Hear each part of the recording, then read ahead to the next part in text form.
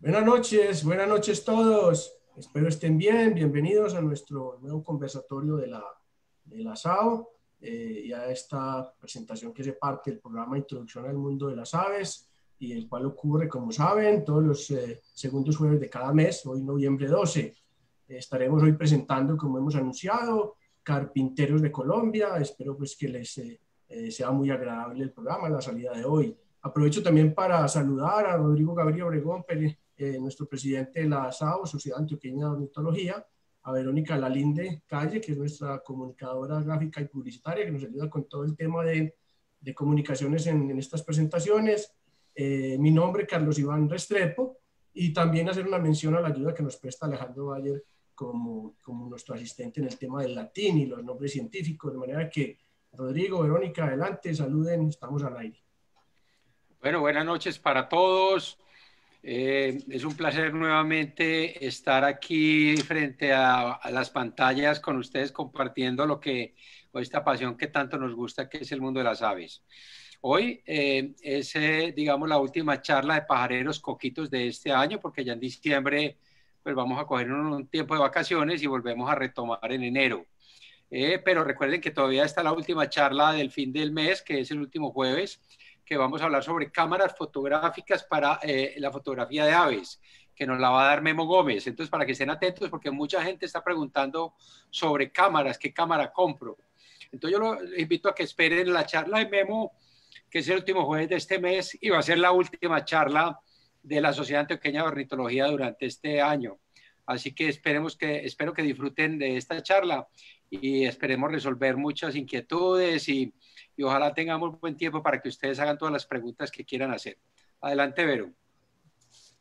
Bueno, eh, ya hay 43 personas conectadas en el en vivo. Acuérdense que pueden dejar sus preguntas y las estaremos leyendo al final eh, de la charla.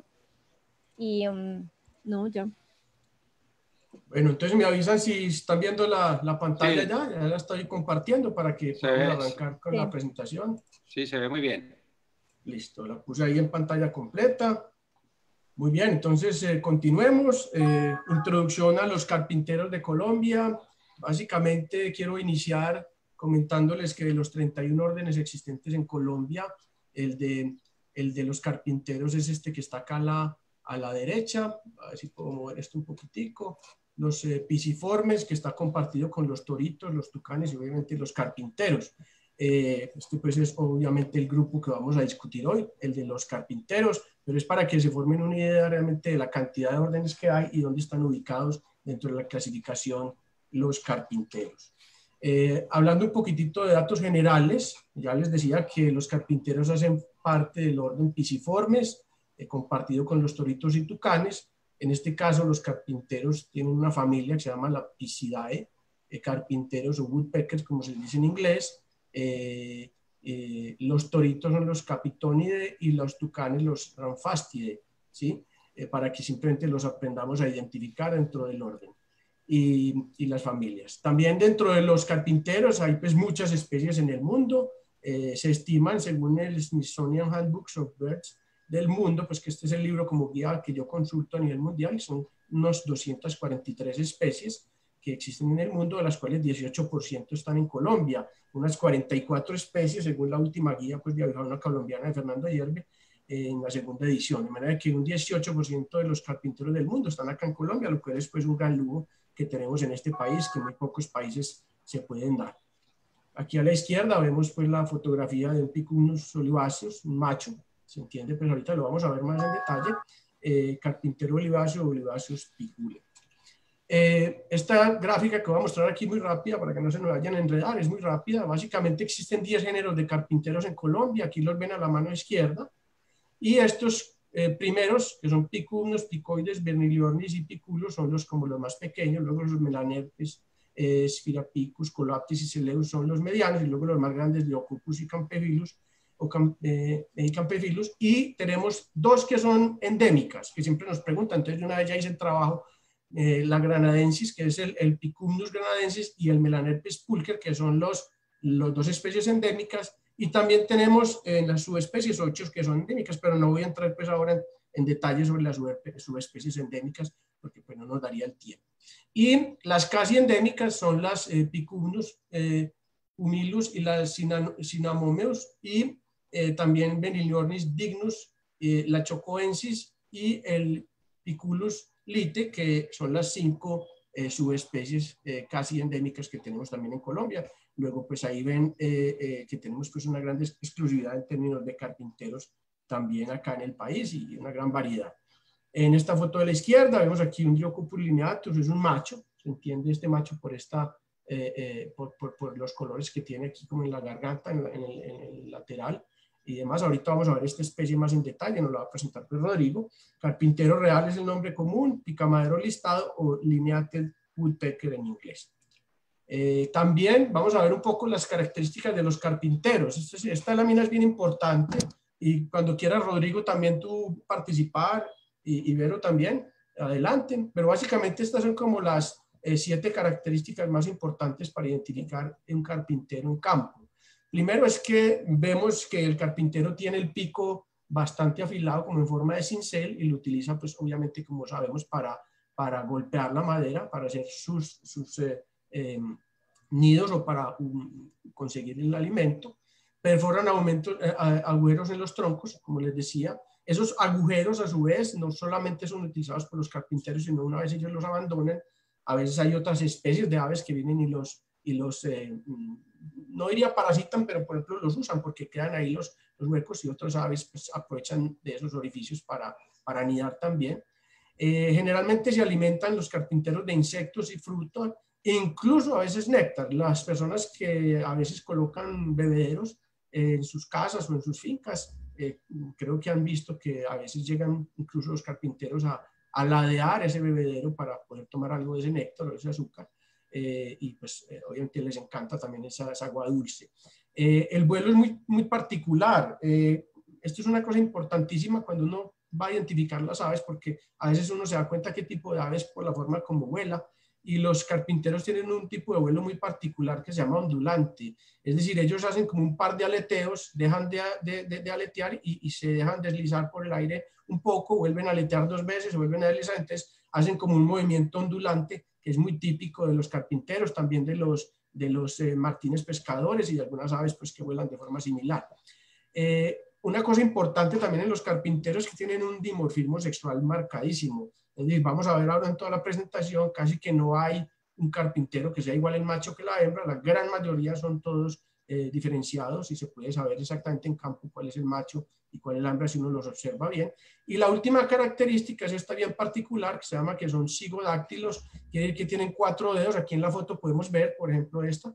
Tienen dos dedos hacia adelante y dos dedos hacia atrás. Esto les permite con unas uñas muy, muy afiladas agarrarse y aferrarse muy bien a los troncos eh, por eso pues pueden eh, eh, transitar para arriba y para abajo por los troncos con una gran habilidad o por las ramas de los árboles, pues aferrándose perfectamente a esas ramas sin riesgo pues, de balancearse ni nada. Entonces, esto es un tema muy, muy particular de los, de los carpinteros, que es una característica que no es exclusiva de los carpinteros, pero que sí los caracteriza.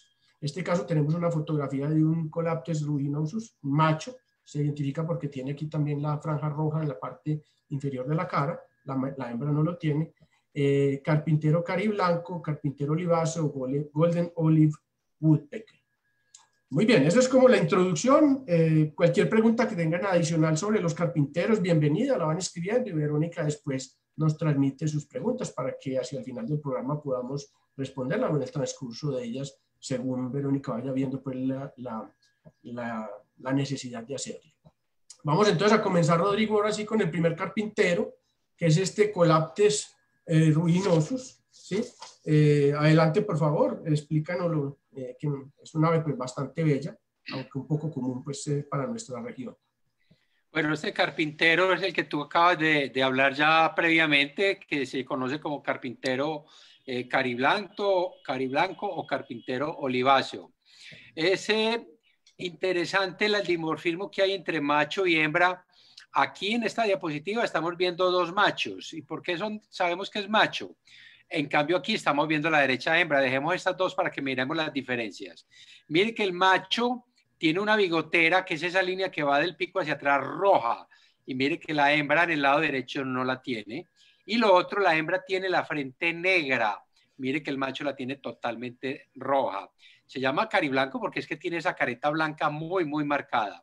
Lo otro es que eh, la parte del cuello o de la gula con el vientre es totalmente estriado, eh, que es una de las características que también lo diferencia de otros eh, carpinteros. Este carpintero se encuentra en las tres cordilleras colombianas, está entre los 900 y los 3000 metros de altitud y es, como tú ya habías dicho, es un carpintero mediano de 23 centímetros eh, de tamaño. Adelante. Bien, continuemos con este otro, Rodrigo, el Colaptis eh, puntígula. Es muy parecido, como pueden ver, inclusive esta pues es la hembra, no tenemos el macho, pero es muy parecido. Ahora, si quieren, nos devolvemos un poquito, Rodrigo, pero explícanos este cuál es y luego podemos hacer un, un, vaivén ahí con las dos fotos para que lo comparen. Sí, este, este se encuentra en, en, tierras más bajas, pues por debajo de los 1800 hasta el nivel del mar. Si ustedes ven un, carpintero de estos a, a, nivel del mar, en tierras muy bajas, póngale la firma que es el puntígula, porque ahora se puede confundir con el. Pero esta es la diferencia con el otro, pues que este también tiene la careta blanca, tiene la corona roja. Estas son hembras todas porque tiene la frente negra y no tiene la bigotera roja. El macho sí tiene bigotera roja y tiene toda la frente eh, roja. Este no lo tiene. Entonces todos estos que estamos viendo ahí son hembras, pero la característica de este, fíjense que en el anterior veíamos que tenía el pecho como barras, aquí lo que tiene son pecas, son punticos, una serie de punticos y es una de las características que lo diferencia de el ruginosos. Ruginosos, adelante. Correcto, ahí exactamente ese es el punto y por eso se llama puntígula, de hecho el nombre pues eh, eh, eh, el nombre científico habla exactamente de ese patrón de puntos que tiene allí en, el pecho y en las alas. Veamos este otro que también es un, eh, un colaptes, en este caso sería Rivoli, colaptes Rivoli con doble I al final. Adelante, Rodrigo. Esta es una belleza de, de, las, de, los, de, los, carpinteros que yo me enamoré cuando empecé a pajarear. Este carpintero lo encontramos aquí en el alto de, de, San Sebastián.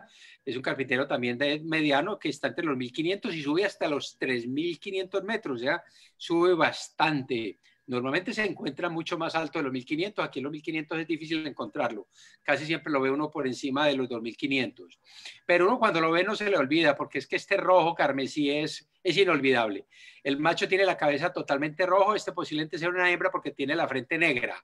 Eh, y eh, el otro es el pecho así totalmente escamado y el bajo vientre es como amarillo con la cola negra, entonces da unos contrastes que es inolvidable. Y todo el dorso, tanto el cuello, la cabeza como el manto, que es la parte posterior, es roja, roja así como estamos viendo eh, este, este carpintero en este momento. Entonces es muy bello, también se, se caracteriza por su canto, el canto es muy característico, pero es de los carpinteros lindos que tenemos en Colombia. Adelante. Sí, muy bello, Rodrigo, realmente espectacular. Y para que recuerden que colaptes como género, entonces en este caso, significa, viene del griego colaptes, que significa cincelador o grabador, y se utiliza mucho colaptes para, para eh, identificar pájaros carpinteros, para que no lo, no lo olviden. Vamos a pasar a otro género, que es el género de los melanerpes, en este caso melanerpes, melanerpes formicivorus. ¿sí? Eh, adelante, Rodrigo, este se tiene es eh, un carpintero que se llama eh, eh, carpintero de los robledales. ¿Por qué? Porque es que está muy asociado con los robles. Incluso en las frutas, la, semilla de los robles, ellos perforan huecos en la madera y almacenan las, semillas. Pero no solo de robles. Estos días me decía un amigo que se cayó una rama de un, de un, yarumo en la casa de él y estaba lleno de huequitos y con maíz metido entre los huequitos. Ellos utilizan o son, son prevén para eh, momentos de escasez y llenan los huecos de, semillas y a veces de fruticas. Eh, es un carpintero bastante común, se encuentra en las tres cordilleras, también sube hasta bastante arriba, hasta los 2700, entre los 1400 y 2700. Ahora aquí en la ciudad de Medellín se está viendo este carpintero que anteriormente no se veía tan bajito, por aquí por la zona del poblado, las transversales y eso se ve con frecuencia. Hay un dimorfismo muy grande entre macho y hembra, porque el macho es ese que tiene esa corona roja, es una corona roja muy, muy, marcada, en cambio la hembra prácticamente es negra, la cabeza es negra, sí puede tener un puntico rojo, como ven en la que está en el hueco, esta debe ser una hembra, porque es un puntico rojo en la coronilla, en cambio el macho le llega ese rojo casi o prácticamente hasta la frente. También se conoce en algunas partes como carpintero payaso, porque es que como tuviera, estuviera pintado en, la cara. Es un carpintero muy bello, que también es muy característico su canto, y ah, normalmente andan en grupos, ellos no andan solos o en pareja, siempre andan en grupos de seis o hasta ocho, ocho individuos. Adelante. Muy bien, Rodrigo, excelente. Sí, eso, eso es muy bulloso, es ahí mismo sabe uno que llegó porque tiene como una matraquita que suena bastante fuerte. Este otro también es muy común, Rodrigo, y sí se ve bastante, bastante en, en, en prácticamente en todo el país, por debajo de los 2.000 metros, este Milanerpes rubricapilius. Eh, eh, adelante, Rodrigo, porque es una ave pues, que estoy seguro que la mayoría hayamos visto. Es de los carpinteros más comunes, pero hay una corrección ahí, eh, Carlos, no se ve en todo el país. Se ve, si tú ves el mapa de donde está ubicado este, este carpintero, está en la mitad de, uno trae una raya dividiendo Colombia al norte y al sur. Él está en la mitad norte, del norte hacia arriba. Para el sur, en la Amazonía, en esa parte no se encuentra este carpintero. Es de los más comunes que tenemos aquí en la ciudad de Medellín. Casi es de los carpinteros más comunes porque es que es muy bulloso, es muy amigable con el ser humano, se deja arrimar mucho, llega a los libaderos también a libar néctar de, de, cuando tenemos colibríes. Y aquí se ve el dimorfismo que hay entre macho y hembra que la hembra no tiene ese rojo tan marcado que tiene el macho, y lo otro es que el macho la frentecita tiene amarillo. Entonces empieza amarillo, después es un rojo, y lo otro es el patrón de distribución de los colores ahí, que el manto, o sea, la espalda y las alas, es ese negro con punteado de blanco que lo hace característico y que lo hace inconfundible de los otros carpinteros. De acuerdo. Muy bien. Estamos yendo un poco rápido, solo explicándole a todos, porque en Colombia, como dije, tenemos unos 44 eh, especies de carpinteros y queremos cubrir la mayoría de ellos hoy. Entonces, para que los puedan tener todos en un solo programa, vamos a estar cubriendo mm, cerca de 3 de cada 4, es decir, 29, 30 carpinteros hoy, lo cual es pues una maravilla, porque prácticamente están 3 de cada 4 carpinteros de Colombia resumidos en esta presentación. Aquí tenemos entonces... Eh, el, el, eh, el Puquerani eh, Rodrigo, este también es una belleza, este me encanta, pero miren que también sigue siendo Melaner, pues con una similitud en la forma a los anteriores que hemos visto. Adelante, Rodrigo. Básicamente todos estos melanerpes viene de melano, de melanina, que es negro. Entonces son carpinteros que básicamente predomina el negro en ellos. Pero este se considera que, o se conoce como carpintero antifaces porque tiene esta, esta banda negra aquí alrededor del ojo que sigue, se sigue de la espalda. Es como si tuviera una máscara. Y lo otro que lo caracteriza a este carpintero es que tiene esa ese puntico blanco detrás del ojo, que los otros carpinteros no lo tienen. Ojo, esto lo hace característico a este carpintero que es de la región del Pacífico. Este no está para ninguna otra región. Este es del Pacífico y mucha gente lo confunde con el, el, Melanerpes pulcher, que ahorita vamos a hablar de él. Este eh, es muy bonito porque también tiene el amarillo en la frente, pues aquí en la parte de arriba el pico y luego viene el rojo. La hembra no tiene tanto rojo como este. Este básicamente es un macho, los, dos antes, el de la derecha y la izquierda es un macho y es un carpintero eh, también muy vocaliza muchísimo. Y si ustedes ven un carpintero de estos negros con estas características o similares en el Pacífico, ponga la firma que es el Pucherani. Excelente, muy bien, Rodrigo. Este tiene hasta la casa decorada y todo, Le agarraste hasta el fondo de la casa. Muy bien, vamos con este pulker que también es muy hermoso y lo mismo que este Crentatus, aquí los hemos eh, eh, eh, lo juntamos, pero dale Rodrigo, arranquemos con este a la izquierda, que es que casualmente se llama Carpintero Bonito, es que es realmente muy hermoso. Este carpintero es una belleza, ¿por qué? Porque, bueno, además que es endémico de Colombia y solamente está en una región del Magdalena Medio. Esta foto la hice yo aquí dentro de la Hacienda Nápoles, en el parque temático, pero en esta zona de Río Claro y también aquí bajando por el Palacio de los Frijoles en Cocorná, eh, hacia abajo, por ahí también se encuentra. Entonces, en esa región del Magdalena Medio, como el Magdalena Medio central, es donde se encuentra. Es un, carpintero que, que muchos de la gente que viene a Colombia lo quiere conocer, porque es muy bello, porque fíjese ese contraste de negro que es la frente. Bueno, primero blanco, negro, rojo y amarillo, es muy bonito, además que tiene este parche blanco en el bajo vientre y eh, eh, es lo que lo hace inconfundible. Este uno lo podría eh, eh, confundí con el Pulcherani que vimos ahora, pero fíjense que no tiene la peca blanca detrás del ojo. El otro sí tiene la peca blanca, miren, esa peca blanca, eso lo hace inconfundible a este. El otro, mire, pasemos, mire que no tiene la peca blanca, entonces ya uno sabe que este es el Pulcher y es el endémico de Colombia. y el de la derecha es un carpintero amazónico, solamente se encuentra en la Amazonía y en la Orinoquía. En la Orinoquía también lo encontramos y es muy bello porque es un carpintero que tiene, que tiene los ojos amarillos, a veces se ven un blanquitos, pero lo que lo caracteriza es ese anillo ocular tan marcado blanco. Es un anillo ocular blanco con ese fondo negro de, también del cuello, del pecho y del manto, que es negro azabache, con la barriga muy roja, pero eso es un rojo vivo fuego. Entonces es un, es un carpintero muy lindo que normalmente se encuentra en toda la Orinoquía y en toda la Amazonía. Ah, eh, entonces, este yo creo que es inconfundible porque es muy diferente a los otros. No, y es una joya, Rodrigo. Eh, también tiene una característica que, inclusive por eso le llaman azulado también, es porque eh, este negro es como petrolizado. Cuando le da la luz, también tiene un brillo muy hermoso. Entonces es, un, es muy, muy bonito. Realmente esto es una joya de ave pues como todas lo son, pero es que esta es espectacular.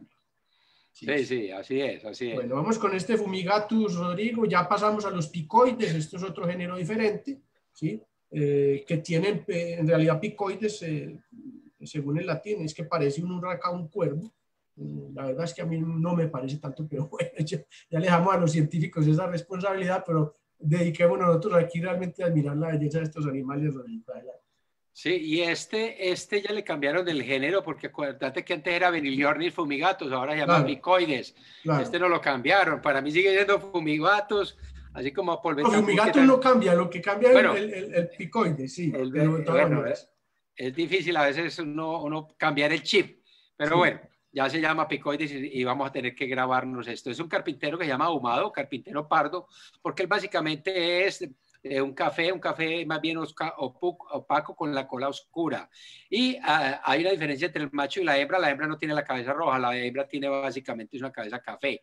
Entonces, es un, cuando vemos un carpintero café de un tamaño mediano, porque este, no, este es un poquito más chiquito que los, que los otros que estábamos viendo de los colaptes. Estos son más pequeñitos, no tan pequeñitos como los ver, que son los picumnus, pero es de un tamaño medianito. Pero este también es inconfundible porque es el único que es así prácticamente café, tanto el, el, el, dorso como el vientre. El vientre es un poquitico más claro. Y lo otro es que tiene ese parche blanco detrás de la cabeza, pero no es un blanco muy marcado, es más bien canelita. Eh, ¿Qué más? Este, este, carpintero se encuentra en todas las cordilleras, en las tres cordilleras colombianas se puede encontrar entre los 800 y los 2800 metros sobre el nivel del mar. Adelante. Muy bien. Pasemos a estos que son otra maravilla, pues estos me fascinan a mí, estos piculos. En este caso eh. tenemos eh, Leucolemus y el Lite. Eh, adelante, Rodrigo, eso es una belleza. Los estos pusimos juntos para no confundirlos, que a veces se pueden confundir, si no, no les ve bien el pecho. Pero dale, Rodrigo, escribirlos vos. Pero a ver, eh, eh, sí, si uno los ve en la foto, uno dirá, eh, ¿cuál será de los dos? Pero sí tienen, sí tienen diferencias. El primero se llama carpintero bigotudo porque tiene ese bigote rojo que sale del pico hacia, hacia, atrás. La hembra no tiene ese bigote rojo, que es lo que lo diferencia del macho. Pero el macho sí tiene ese bigote rojo con esa línea también amarilla por encima del rojo y la cabeza completamente roja. Lo otro que es el pecho completa, completamente escamado. La cosa es que este carpintero solamente se ve en el sur, allá en la puntica del Putumayo, allá abajo, donde yo esa foto la hicimos eh, allá en la reserva eh, de la isla escondida, donde Jürgen Bakers, montados en esas plataformas, porque es difícil que él llegue a la altura del ojo, entonces allá arriba en la plataforma eh, logré hacer esta foto, que es una foto muy valiosa porque es un carpintero que poca gente conoce en Colombia. Y el de la derecha es un carpintero casi endémico, porque, porque solamente lo compartimos con Ecuador. Este carpintero está en la vertiente del Pacífico y hay algunos registros que también se mete por los valles de, de, la parte norte de la, del, del, valle del Magdalena y un poquitico del Cauca, o sea, se mete. Recuerden que hay una cosa interesante. Estas formaciones calcáreas que hay en el cañón del río Claro, aquí en Puerto Trufo, comparten muchos eh, aves con toda la zona del Chocó. Entonces, a estas aves, yo esta no la he visto en Río Claro, pero, pero podría estar, porque muchas de las aves que ve uno en Río Claro las comparten con las aves del Chocó. Y esta la diferencia es que tiene la banda amarilla muchísimo más grande que el anterior. Y lo otro es el rojo, la bigotera, no es tan grande como el anterior.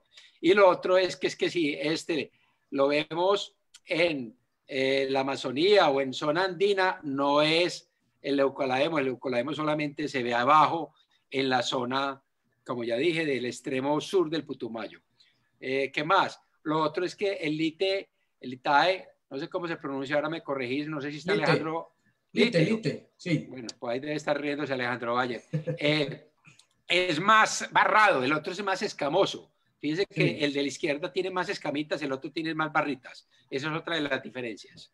De hecho, le cuento el chisme, ese lite viene de una provincia del Ecuador, Rodrigo. Entonces, eh, de ahí viene pues ese nombre. ¿sí? Interesante. Bueno, eh, una joya, realmente gracias Rodrigo, porque tener estas dos fotos no es fácil y, es pues, un privilegio para nosotros en este momento estamos pues, apreciando a nivel de fotografía, porque realmente no son muy fáciles de apreciar estas dos especies. Muy bien, metámonos entonces en estos pequeñines que a mí me fascinan, Rodrigo, realmente a nivel de los carpinteros me parecen maravillosos. Cada que encuentro uno de estos me puedo, me puedo estaciar ahí, dejo de fotografiar cualquier cosa y me quedo en estos. estos este, este oliváceos, por ejemplo, es una belleza. Dale, Rodrigo, si quieres eh, este es del grupo de los carpinteros chiquitos de 9 centímetros. Este está por debajo de los 1900 metros. Hasta el nivel del mar se puede encontrar, pero se encuentra básicamente en los valles interandinos en el Valle del Cauca, en el Valle del Magdalena, eh, el Chocó, en la zona abajo de, de, hacia Nariño eh, también se encuentra. Y hay una diferencia marcada entre macho y hembra. Estas son todas hembras. ¿Por qué? Porque tiene la corona toda es negra, pero punteada de blanco. En cambio, los machos es negra, punteada de blanco, pero en la parte de atrás y adelante es amarillo, como vemos ahí a la izquierda. Y esta foto de la izquierda, fíjese, tan interesante. Miren los huequitos, es una foto muy linda, los huequitos que hay en las ramas. Él perfora esas ramas y por ahí es donde saca las larvas de, los gusanos, de las moscas o lo que sea. Ahí es donde saca eh, él. Entonces, él, lo ve uno perforando ramas pequeñas. Él no se pone en troncos grandototos, sino en ramitas pequeñas a perforarlas hasta que puede sacar la larva. Eh, este es un carpintero oliváceo, se llama carpintero oliváceo, ¿por qué? Porque básicamente es oliva, oliva parejo.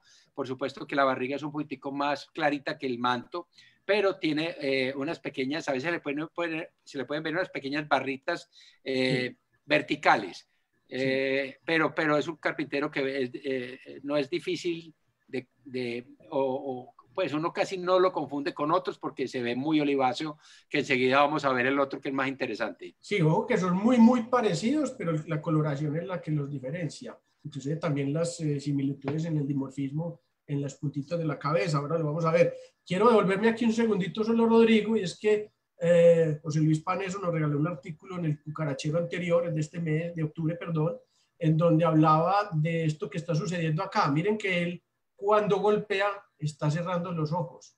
Quiere decir que está protegiendo sus ojos cuando hace el golpe de cualquier astilla, lo que sea. Él lo mencionaba como que tiene una, unas lentes, pues unas gafas o unas antiparras y, y, hacía asociaciones de varios, varios aves que utilizan ese efecto para proteger sus ojos, las marinas, las rapaces, etcétera. Muy interesante el artículo en el cucarachero del mes pasado. Entonces ahí se ilustra muy bien cuando hace el golpe cómo él se protege. Listo, Rodrigo. Pasemos que miren aquí como si se ve tan parecido. Miren, aquí está todo este otro macho también es similar, pero miren el, el pecho aquí mucho más claro y no barrado, como decía Rodrigo. este, es, este endémico es una belleza también. Este sí es solo colombiano. Este es un ave que es otra joyita que tenemos en Colombia, otro de los endémicos, y es un ave que se encuentra eh, a lo largo del Valle del Cauca. Solamente se encuentra ahí en el Valle del Cauca, pues en, las vertientes del Valle del Cauca, está por debajo de los 2.200 metros, entre los 500 y los 2.200 metros, carpintero también pequeño, pero la característica de esto es que es mucho más claro, no es que sea blanco, pero toda la barriga es lo que llama un ante, que es como, como un canelito, pues no sé, eh, eh, como un crema más bien. Un habano, un habano. Sí, sí. Habano, sí, ah, pues habano es más bien café, esto es como, como más bien clarito. Y el manto, o sea, la parte posterior es, es un oliva oscuro.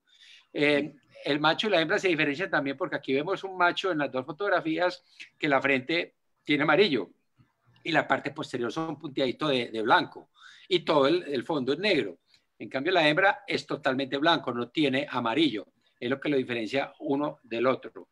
Eh, ¿Qué más? No, básicamente es eso sobre este carpinterito. No sé si te pasa lo mismo que me pasa a mí, Rodrigo, con estas especies de picumnus, es que son bastante tranquilos y no se les puede acercar mucho. no son muy huidizos. Entonces es muy rico porque si uno lo tiene cerca, simplemente es uno tratar de moverse muy cuidadosamente y se dejan acercar hasta dos, tres metros y, y logran unas fotografías muy buenas. Así es, eso es cierto. Todos, Rodrigo. todos estos colibríes responden bien al playback. Eh, recuerden siempre ser muy cautelosos con el playback, nunca usar, pues porque porque eso, eso afecta a, a, los, a los carpinteros. Aquí ya... Ojo con este nombre, Rodrigo, ojo con este, que nos puede caer las, las, las calzas. La Fresnei, la Fresnei, o sea, Picunus la Fresnei, con ah, una I sostenida. Y el otro sí después se pronuncia normal, Cinamomeus, pero, pero bueno, ese Cinamomeus como de cinnamon, como de, de, de, de ¿vale? que, los, que, los, eh, que, la pastelería, que, que los pasteles de, de, pues de, ¿cómo se llama eso? De, pues, canela, canela. Canela, canela es la palabra. Eso, Alejo, hombre. por, eso dije, por eso dije, inviten a Alejo, hombre. Econichi, acuérdate, Chinamomeo. Chinamomeo. Sí, Chinamomeo, sí, sí, sí, sí, tienes razón. Y lo había escrito así, pero no sé por qué lo, lo, lo pronuncié mal, Alejo. Mil gracias. Dale, Rodrigo, son. Bueno, este se conoce como carpintero barrado. Y este carpintero es exclusivo de la Amazonía, no se encuentra sino en la región amazónica. Eh, ¿Qué es la diferencia de este con los otros? Es que es un carpintero que es eh, básicamente un, eh, canela oscura, oscuro, con esas barras que atraviesan todo el cuerpo, desde el cuello hasta el bajo vientre, tiene unas barras que atraviesan todo de lado a lado. Lo otro es que también, aquí la, desafortunadamente la foto no me quedó muy buena, pero es la única foto que encontré más o menos de este, es que él también, la cabeza es canela oscuro, pero los punticos son blancos y la frente rojiza, la parte de frente rojiza en el macho, en la hembra es totalmente blanco. Entonces, de hecho, no supe, no supe qué ponerle si macho o hembra, porque como la tiene volteada, no, no, no alcanzo no a ver. Pero parecería una hembra más. Parece una hembra porque ahí no se le ve el rojo, al macho se le vería el rojo ahí. Para mí, esta es una hembra. Y ver que ahí ya está perforando la ramita y medio se ve donde está, donde está trabajando. Y como tú dices, cuando él está trabajando, está concentrado en abrir el roto y coger la larga y uno como fotógrafo se puede aproximar bastante. Y en la derecha tenemos otra joyita que es un carpintero casi endémico de Colombia. Y es un carpintero que es exclusivo de la costa caribe. Eh, solamente se encuentra en la región del Caribe y sobre todo en La Guajira. La Guajira es, no es que sea relativamente frecuente, pero, pero se ve con, pues, cada vida que uno va, eh, tarde que temprano lo encuentra. Y es muy bello porque es que este es un canela rojizo, todo el, todo, todo el carpinterito, pero la cabeza, como ustedes ven ahí, tiene la primera parte blanca, después toda la corola negra y está punteado de amarillo y blanco. En cambio, la hembra no tiene el amarillo, es la diferencia entre el macho y la hembra. Recuerden, todas las hembras de estos picumnus son punteadas de blanco. En cambio, los machos tienen amarillo o rojo o otro color diferente. Este es un carpintero muy bello y recuerden, solamente se encuentra en la región del Caribe. Sigamos. Sí, recuerden, recuerden aquí eh, todos que Estamos hablando de carpinteritos de 9, 9 y medio centímetros. Esto es una ave muy pequeñita. Aquí en las fotos se ven pues, muy, muy grandes porque están muy cerca la foto, pero son carpinteros hermosos, que son pequeñitos, inclusive para los que no tienen mucha experiencia reconociendo aves, pero que pueden reconocer, por ejemplo, una tángara como un azulejo, un verdulejo, etcétera, eh, eh, es incluso más pequeño, ¿cierto? Y ahora vamos a ver otros carpinteros que son tres veces más grandes que este es una belleza, realmente por eso me encanta, porque son pequeñitos y son muy, muy espectaculares. Miren este, por ejemplo, ah. qué belleza, con ese pecho escamado, qué belleza, por eso es, el nombre es Squamatus. Este Squamatus es otra belleza, es un carpintero eh, que se llama carpinterito escamado. ¿Por qué? Pues porque es que el nombre lo, lo dice, mire, lleno de escamas, totalmente escamado, tanto el dorso como el vientre. El vientre es más blanco, el, el, el manto es mucho más oscuro. Eh, toda eh, la, cabeza arriba es negra, punteada de rojo la frente y blanco detrás. En cambio, la hembra, recuerde, no tiene rojo, es totalmente punteada. Y es otro carpintero que es exclusivo de la Orinoquía y la Amazonía, es de allá. Pero este se encuentra más en el pie, en el pie montañoso de la cordillera eh, oriental.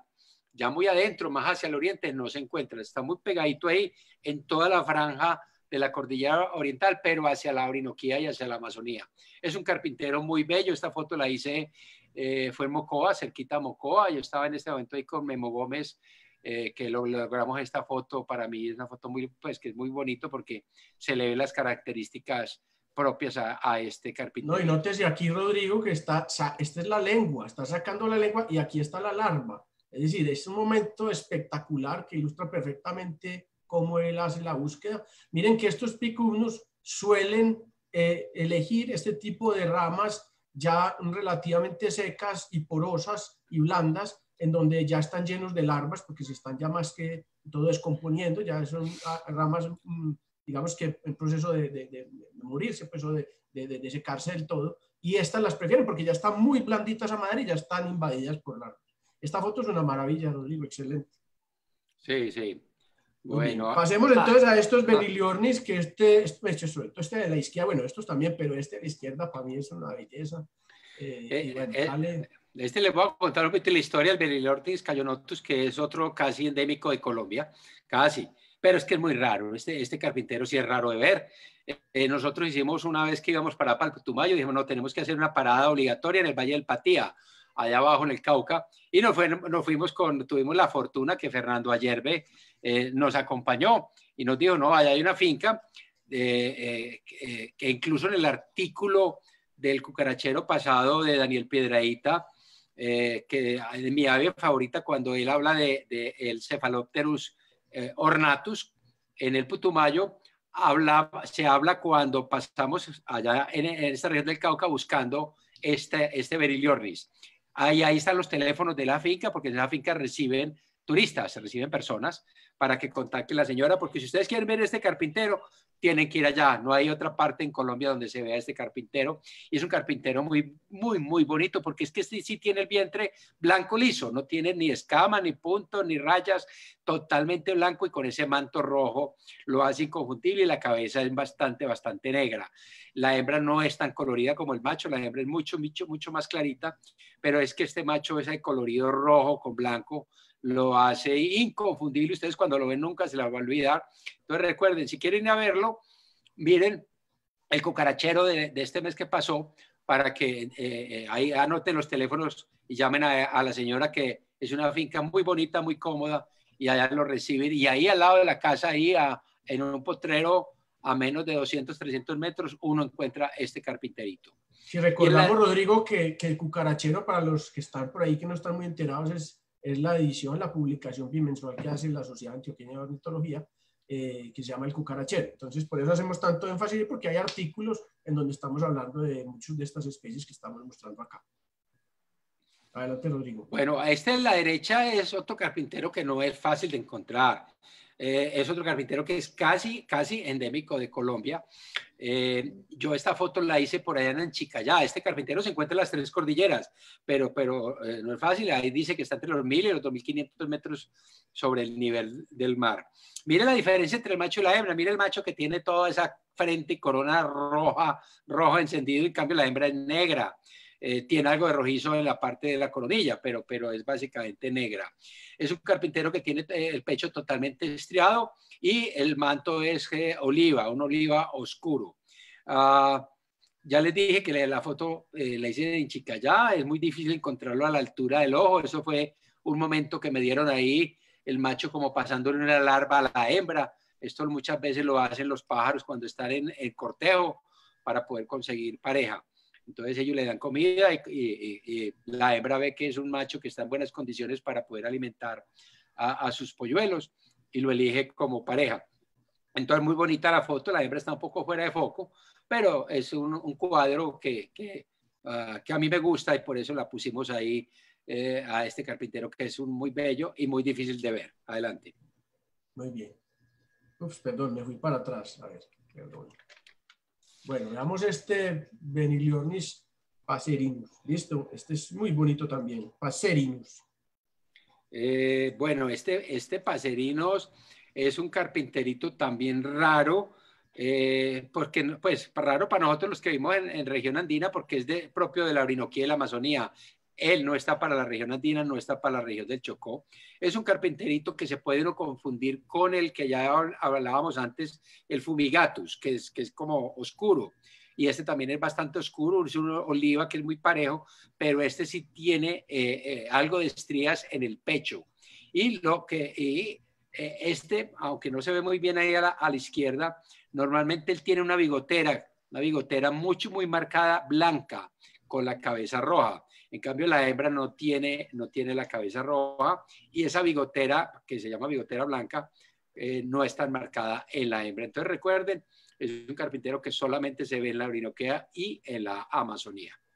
Sí, de hecho esta foto la hice yo en Amazonas, Rodrigo, y les cuento pues que me tomó como cinco o seis árboles poderlo agarrar, porque eso es primo muy pequeñito y brinque y brinque y brinque y es demasiado inquieto.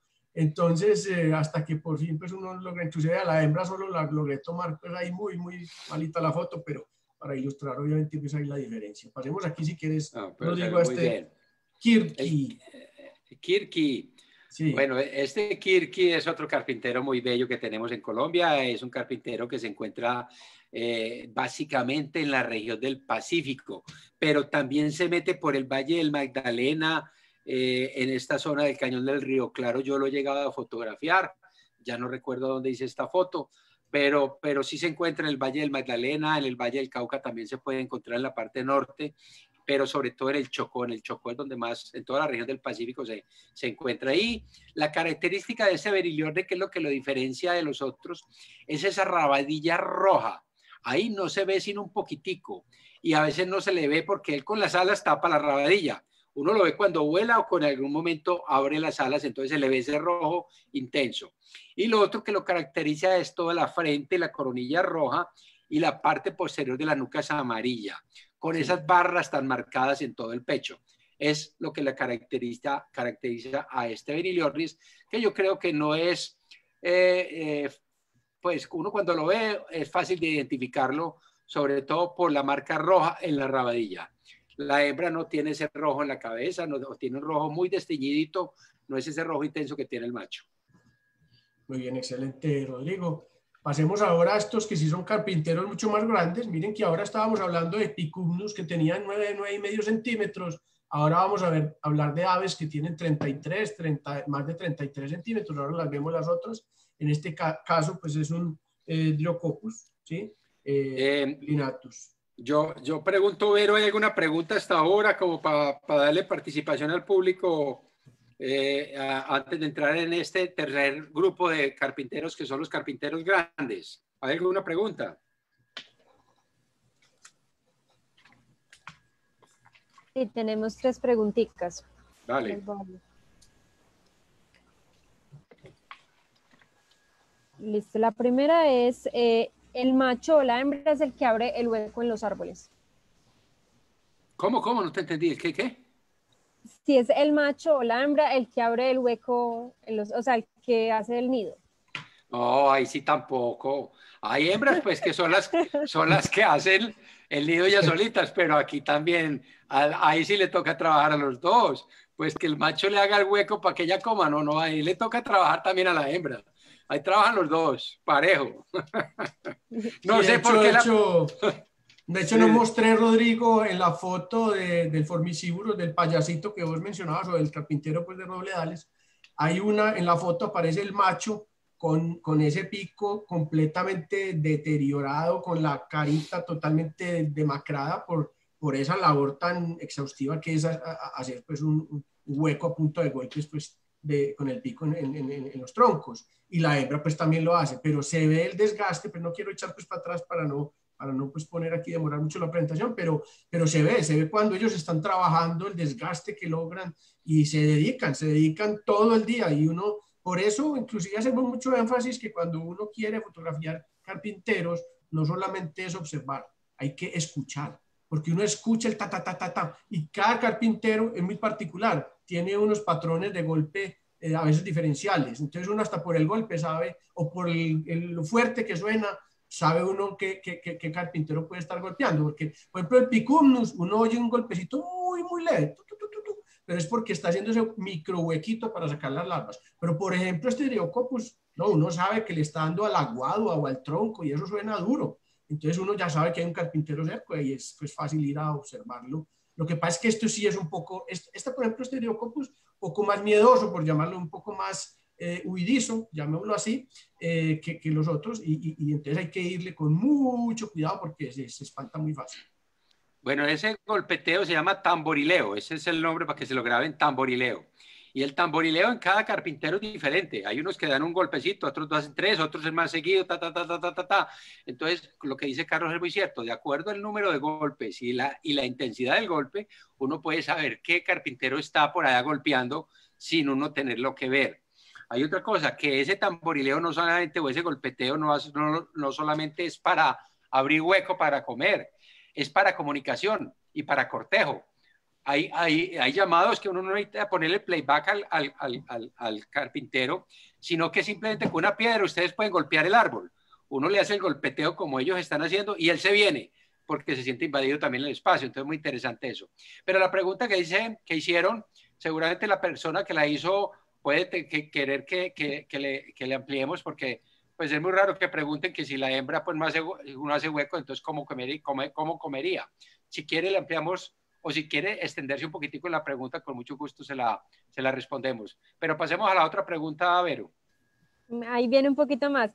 Es sobre la, cómo se diferencia la vocalización de este lineatus con el colaptes puntígula, porque es como un poquito, hay alguien como que los confunde mucho y que si de pronto hay como un tipcito ahí como para distinguirlos.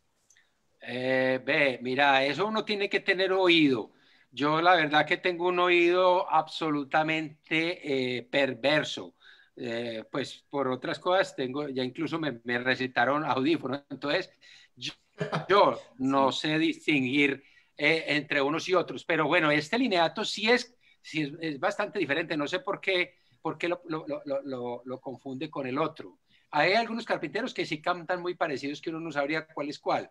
O yo por lo menos, pero hay gente que tiene oído musical que es capaz de diferenciarlos. Pero si ustedes ponen el playback de uno con respecto al otro, pues, oyen uno y oyen el otro inmediatamente, hay diferencias.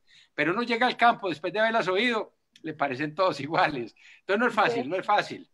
Sí, no, en, este yo, yo, diría que un poquito, pues que yo los tengo los dos aquí y los oigo mucho, este lineato es demasiado bulloso, o sea, se sobrepone sobre, sobre como todo lo demás, entonces uno como que dice, ese es, con el otro es mucho más eh, suavecito y generalmente también como están en la manguita, entonces eh, es más fácil, pero este es súper, súper, como dice, me impongo sobre todo, entonces yo creo que también un poquito por ahí, para, la, pregunta de Andrés. Y hay especies que cantan, hay especies que, que, que, hacen sus llamados o sus cantos muy similares, estos, estos Diocopus o incluso Campéfilos, o Campefilus, perdón, pueden tener unos que de acuerdo a la intensidad, como tú dices, Vero, puede variar, pero por ejemplo en los, en los eh, melanerpes esos, esos, son, esos son fáciles de distinguir. Eso sí, yo por ejemplo, el, el ruginosus o, o, el, eh, o, el, puntícula y estos, uno sí, sí, ya uno va afinando el oído para saber cuál especie es. Y también la región y la altura que ayudan mucho a saber que, que uno no ocurre en una y en la otra, ¿cierto? Pero bueno, eh, hay que tener oído muy, muy fino y, y, la verdad es que ya eso estamos hablando de niveles de, de experticia muy importantes cuando uno ya sabe pues, identificar el canto de cada Claro, ¿no? Y también hay otra cosa y es que hay muchos tipos de, de vocalizaciones como los reclamos o, u otro tipo de, de, que son muy distintos, entonces también uno hay veces está con las guacharacas, uno, uno hay veces se confunde cuando empiezan a reclamar mucho, entonces también es, también eso es un, cuento bastante grande.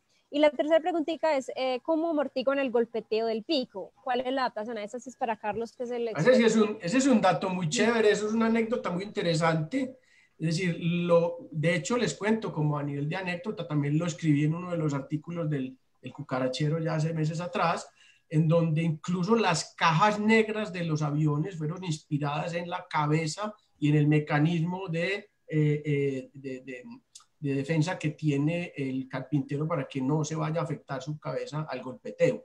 Entonces, ellos tienen un líquido eh, y tienen como unos eh, no va a entrar pues en la, en, la descripción científica, pero tienen como unos huesitos que son flotantes en ese líquido, lo cual ellos cuando hacen el golpe, esos huesitos no van a golpear secos, sino que tienen como esa, esa eh, fluctuación allí, eh, digamos que disminuida o, o, o como diría yo, menguada, ¿cierto? Es decir, no es un golpe seco en, en, el interior de la cabeza, lo cual les ayuda a, pues, obviamente, a, estar siempre conscientes y a, y a poderlo hacer.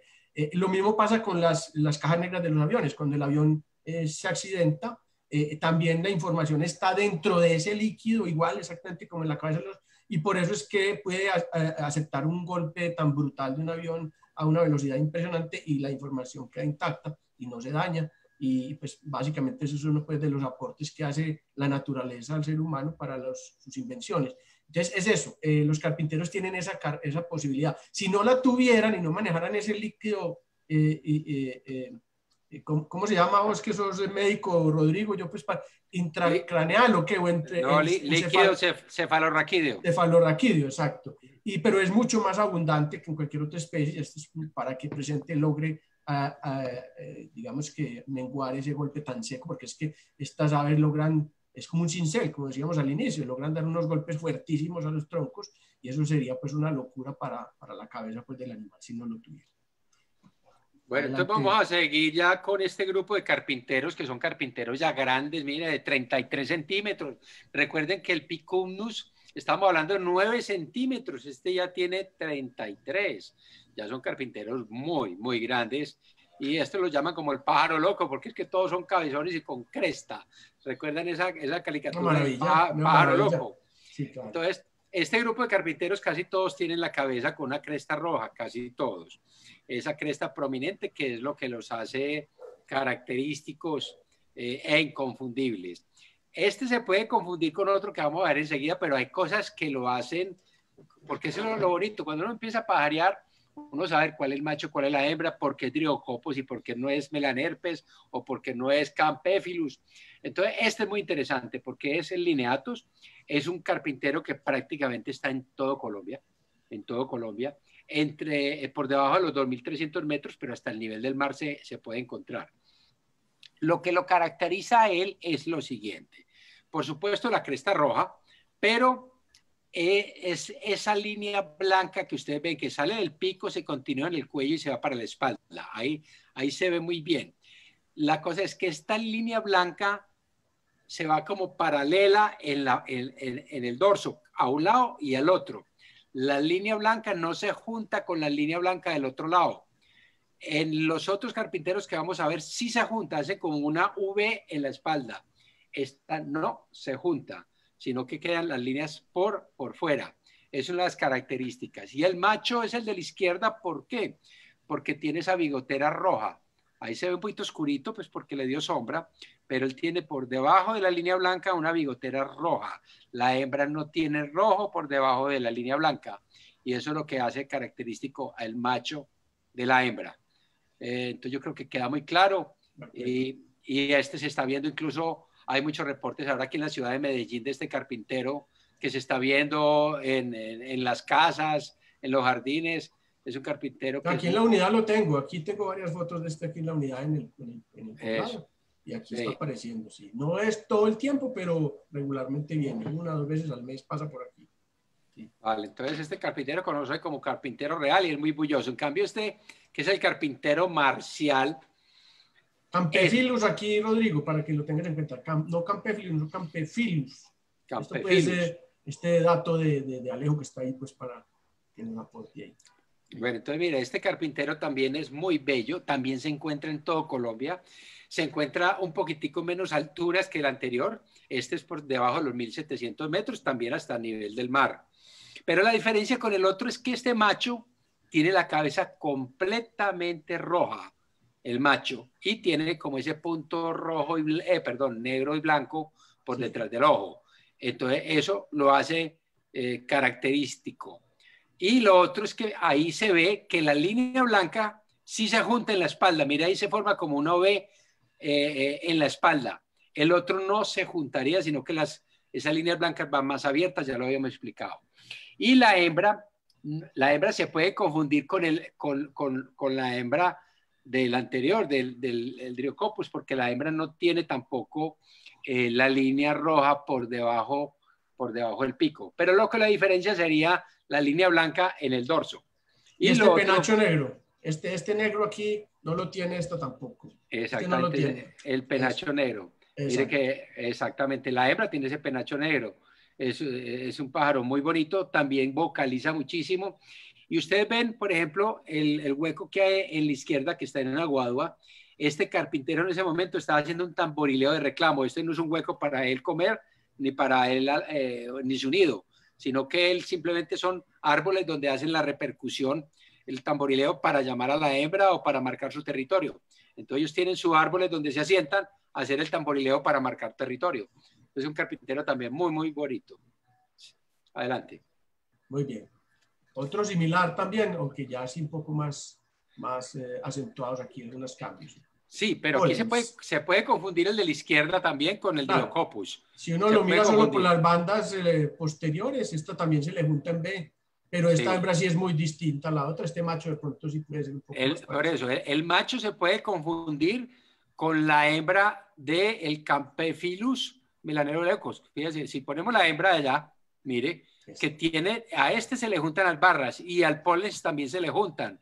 Y el polen no tiene, el copete rojo no tiene banda roja por debajo de la línea blanca, pero se le juntan las barras, o sea que tiene más o menos lo mismo, solo que no tiene la frente negra.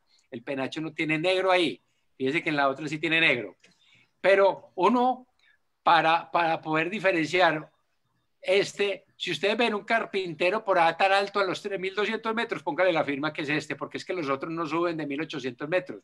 Este sube de los 1.400 a los 3.200 y casi siempre lo ve muy, uno muy alto. Esta foto yo la hice una por ahí en Río Blanco y la otra la hice por ahí en Murillo, en el Tolima, ya por ahí muy, muy arriba. Pero fíjense que, que, es muy bonita la hembra. Esa hembra de la derecha es inconfundible porque es que es negra sabache.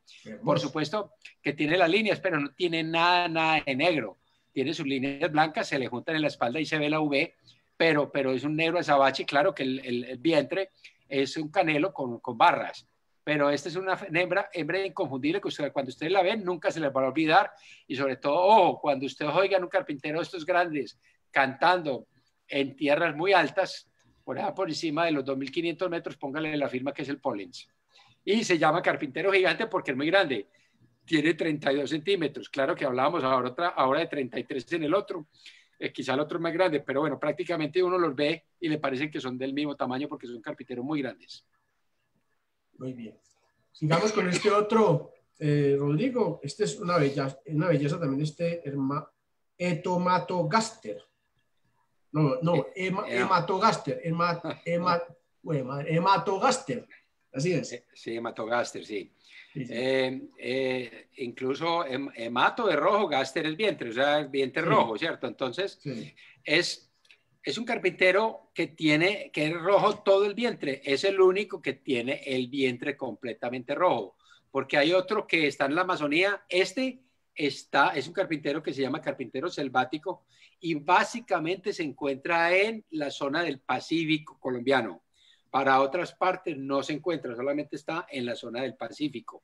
Esta foto la hice en la Bajo Anchicayá, por ahí por Anchicayá abajo, eh, con nuestro amigo Gilberto eh, Collazos y con el grupo nuestro, eh, que tuvimos ese placer de haber encontrado a este carpintero ahí, pues a, a, casi la altura del ojo. Lo estuvimos buscando muchos años hasta que al fin logré una foto decente. Entonces, la, es un carpintero que también tiene la corona roja, como todos, pero no tiene las líneas blancas en la espalda. Este, la espalda es completamente oscura. Y la diferencia entre el macho y la hembra es que esta tiene el cuello rojo por detrás, la hembra es negro. Eh, no tengo la foto de la hembra ahí, es la diferencia entre macho y hembra. Y, eh, no, pero Rodrigo, yo, yo no sé si este es macho o hembra, porque viendo el catálogo, por eso lo nombré hembra, el, el, el macho o le llega muy el negro acá o se le suspende Aquí no tiene esta línea blanca que da la vuelta en el cuello, se le queda muy aquí en la biotera nomás. Entonces, ah. eh, por eso creo que esta es la hembra, eh, por esa razón. Ah, bueno, es posible que esté yo entonces confundido, sí, sí, sí. Es posible. En todo caso, es un carpintero muy bonito que tanto el macho como la hembra tienen toda la barriga roja, roja así eh, encendida. Y ustedes cuando lo vean, lo van a recordar siempre porque es un carpintero que uno no, no lo confunde con ningún otro. Por supuesto que hay otros carpinteros que no se puede confundir. Hay uno que se llama Guayaquilensis, que está abajo eh, en, el sur del país, pero es más parecido a, los otros campéfilos que a este. Eh, entonces recuerden, si ustedes ven un carpintero así rojo en la zona del Pacífico, es este hematogaster que es una belleza. excelente. Bueno, esto es una belleza también. Esto es, esto es una belleza de carpintero y es grande también. 30 centímetros, Rodrigo. Aquí entramos en otro como otro grupito, que son estos carpinteros que se les dice carpinteros cabeza de martillo. Porque ellos tienen, porque ellos tienen eso, ellos tienen esa cabeza con esa, con esa cresta y que es una cabeza como aplanada, con esa cresta hacia atrás, como si tuviera un martillo en la mano. Este carpintero es un carpintero ah, básicamente que es como, como una, un habano, así como un café parejo. La, la, derecha quizá porque me quedó mal revelada, se ve más rojizo, pero no es tan, tan, tan rojo. Es más como el de la izquierda, un poquito más café. Yo quizá lo resalté es porque para que viera la diferencia entre macho y hembra, que el macho tiene esa bigotera roja y la hembra no, no la tiene.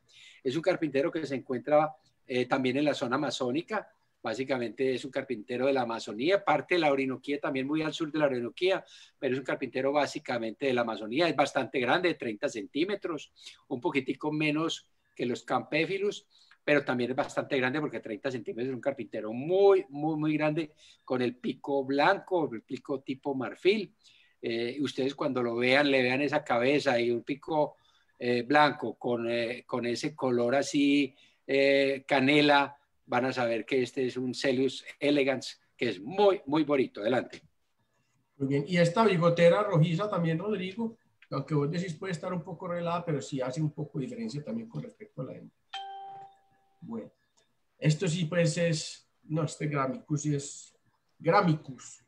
Este es, este es otro de los, de los cabezas de martillo. Yo estaba ahí en Caramao, este también del Amazonas, allá, solamente del Amazonas. En Caramao, allá en, esa, en ese sitio que, que en estos días incluso hablaba con Jürgen ayer o antier, que yo quiero que él me escriba un, un, artículo para el cucarachero de allá de eso, de la isla escondida, porque es uno de los sitios, eh, a mi gusto, más, más espectaculares para observar aves, y no solo aves, sino mamíferos, también hay mucha serpiente, eh, roedores, eh, mariposas, de todo. Es un sitio, para mí es el sitio más, más hermoso que hay en Colombia para la observación de naturaleza y de fauna. Entonces, eh, espero que podamos hacer un artículo en el cucarachero para que ustedes se orienten de cómo llegar y, las facilidades que tienen de llegar allá y, coste que no me están pagando pues por, por la cuña, pero es que hay que patrocinar, hay que ayudar a la gente que está haciendo cosas buenas en este país. Entonces yo estaba ya en esas tarimas arriba en pleno monte, donde uno ve todo el Amazonas hacia abajo, es una cosa, una, es un sitio bellísimo. Cuando me llega primero la hembra, y yo, ay Dios mío, ¿y esto qué es? Pues yo no sabía qué era, yo no la conocía, no sabía ni que existía. Eh, me tocó pues coger el libro, una vez hice la foto, empezar a buscar, a buscar hasta que no, esta es. Ya al momentico apareció el macho, macho más a la distancia, eh, que también tiene la diferencia de la bigotera roja. Fíjense, la bigotera roja es muy característica en estos Celeus. Hablábamos del elegance, pero aquí también este Gramicus, se llama. Celeus. Celeus gramicus. Celeus gramicus, sí. Oiga, gramicus. El macho tiene un poquito Si me equivoco es culpa de Alejo. Si me equivoco es culpa de Alejo. eso es. Pero a diferencia del Celus elegans, este sí tiene pequitas. Fíjate que tiene una serie de pequitas tanto en el pecho como en el manto, pequitas negras. El otro no, el otro no tiene pecas, el otro es completamente granate. Mire, mire que no tiene pecas. Este otro sí los tiene, que es lo que lo diferencia a uno del otro y este también es grande. El anterior tiene 30 centímetros, este es de 25, un poquitico más cortico, pero ustedes en el campo eso no lo notan. Es difícil saberlo porque eh, también es un carpintero grande. Entonces, eh, eh, eh, fíjense, las diferencias son muy marcadas. Cabeza de martillo porque tiene esos copetes y, cuando ustedes vean un, carpintero de este color canelo oscuro, con pequitas y con ese copete, póngale la firma que es el Gramicus, que solamente se ve en esta zona de la Amazonía. Adelante. De acuerdo, muy bien. Bueno, aquí sí va a llegar usted a uno de mis frustraciones, pero adelante que yo después le cuento la historia. Bueno, aquí tenemos dos. Vamos al de la izquierda, el Loricatus, que es un Loricatus, es un carpintero que también se ve en esta región de, del Pacífico, básicamente del Pacífico, pero también se mete por el Magdalena y llega hasta Río Claro. Yo le he hecho fotos ahí en Río Claro eh, y en esta, en esta región, incluso a la finca ahora mía Torre la Vega empezó a llegar, que fue una gran emoción cuando yo lo oí cantar, porque tiene un canto muy característico que a uno no se le olvida cuando lo oye cantar. Entonces es muy emocionante ya tenerlo en la finca. Y este eh, es muy lindo porque fíjese ese, ese eh, patrón de escamas que tiene en todo el pecho y en todo el vientre. Es muy bonito ese patrón de escamas en, en, en, en toda esta, esta zona. Esta es una hembra ¿Por qué? Porque es que el macho tiene bigotera roja. Fíjense que esta no la tiene. No tengo la foto del macho, pero es una hembra, que es la que, pues, acuerden, esa bigotera es muy característica para diferenciar un macho de una hembra. Entonces, recuerden, se puede ver el Magdalena Medio, aquí muy cerquita en Antioquia se ve, pero básicamente es un carpintero que es más característico de la zona del Pacífico. Y cuente su frustración con el Flavus. No, ¿y por qué sabe que fue con el Flavus? ¿Por qué? Yo no, yo no le he dicho nada todavía. Porque se quedó, se quedó callado con este, entonces me imagino. Me imagino que será eso. No, yo lo he visto, yo lo he visto en dos lugares, Rodrigo, este Flavus, y me parece prácticamente es el carpintero más hermoso que yo, que yo considero que hay, a pesar de que hay otros más coloridos, pero para mí este es una maravilla. Eh, de que lo he visto en fotos, siempre he querido ir a fotografiarlo y pues eh, salí pues y me fui al Amazonas y allá lo vi un par de veces, inclusive la vez que mejor lo vi que se me ponchó, como digo yo, ahí, ahí al frente, eh, fue una situación muy particular, porque yo me emocionó mucho y, y, ya dije, ya lo tengo, ya lo tengo, esta fue, eso era ahí cerca a la, a la, a la frontera con el Amazonas peruano, ahí es el Camarachá, y lo veo yo ahí, y cómo es que empiezo a disparar y me dice esa cosa, memoria insuficiente, y yo decía, no, ¿qué me pasó a mí aquí? y vaya pues usted que lo espere para que usted vaya y busque pues una memoria o borre dos o tres fotos. No, ya hasta ahí llegué. Entonces le logré hacer pues varias fotos, pero no son fotos pues las que uno hubiera querido, y menos en el lugar después donde se me ponchó. Pero es mi frustración. ¿Cómo es que él vino? Él vino muy amable, me saludó y me dijo, aquí estoy, tómeme la foto, pero, pero y memoria insuficiente. Eso es tal vez el aviso más fatal que le puede pasar a uno como, como fotógrafo de aves. A todos nos ha pasado eso, Carlos. No pienses que vos sos el único. O todos se nos han borrado memorias, se nos han perdido. Hemos ah, tenido, todos los fotógrafos hemos tenido nuestros motivos para arrancarnos los pelos. este es un carpintero del Amazonas, básicamente eh, amazónico. Eh, esta foto la hice en el Putumayo. Hay otra finca hermosa con una variedad de, de aves lindísima. Y es que es de un médico veterinario que dejó que su finca ganadera se convirtiera en una reserva que se llama Finca El Escondite. Eso es entre, entre eh, Mocoa y Puerto Asís, más cerquita de Puerto Asís, en el camino hacia Orito. Y él también tiene alojamiento allá. Y en el jardín de su casa llegan estos celius. Esta foto la hicimos allá.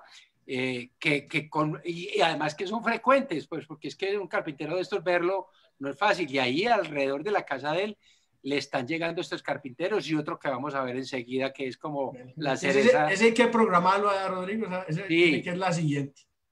Sí, donde el, doctor Hernando Rodríguez, que es excelente anfitrión, eh, tiene una cabaña muy agradable y ustedes desde el balcón no solo ven este carpintero y el que vamos a ver enseguida, sino que también se ve la, la cotinga, la, la Natereri, una de esas pues que es otra, otra belleza.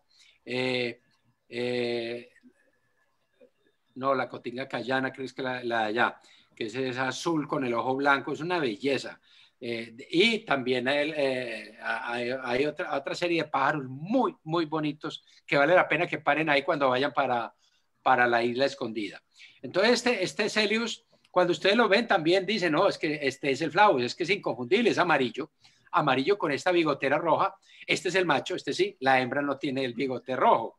Eh, ahí lo, lo eh, él no es que se mantenga así, eso que lo conocí, lo cogí en ese momento en la foto que, que para las plumas, las paró pues como para expulgarse y le cogí la foto en ese momento.